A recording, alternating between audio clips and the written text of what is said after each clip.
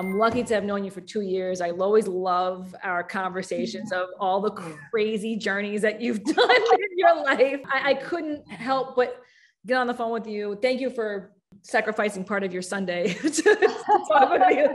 I said this to Fabian. I wasn't the least bit surprised at all. I, but at the same time, I said to him, you know, she never ceases to amaze me because when you turned 60, your nephew sent you a parachute. Yeah. You proceeded to go skydiving. yeah. yeah. Which then became what, a clip what, in a video for Appfire. What could I do? This is a gift.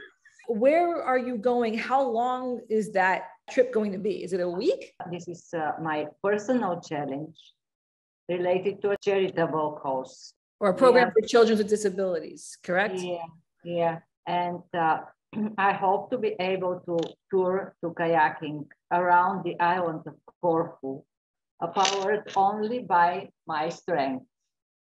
And um, I don't know uh, how long will be this journey, this because of the weather, of the way, will be a week, maybe 10 days. I know about this foundation maybe before years because uh, I make some gifts and now they have this uh, new project. They want to, to make here medical center and social center and we don't have uh, such a center for these kids and for their parents here in Bulgaria. This will be the first. When I uh, called them and told what I am intended to do, they uh, give me this. I know from, from this, I uh, have known about this new center for educational, medical, and social services for children with developmental problems. I hope that uh, many friends and not only friends and colleagues will be supporting this. I feel very grateful and very calm because I have so many people with me in this. I'm so happy that Appfire and Appfire Town uh, stand behind my back. You're not just putting in your time, you're, you're putting your full body into this.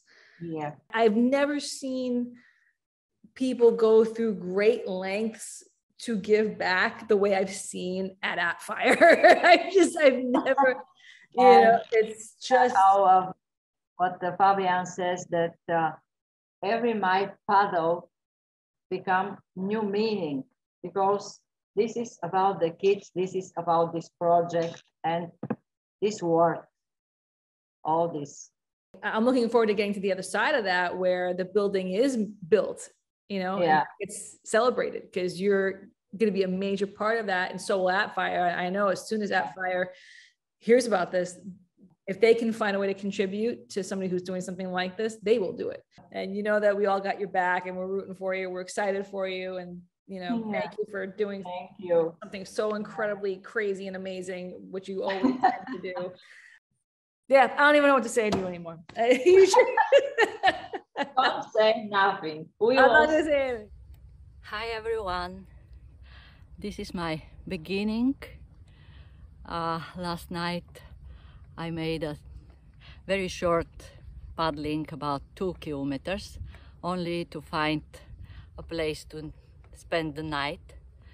But now it's the, the beginning of a new very hot day but I'm in the water and see you. Bye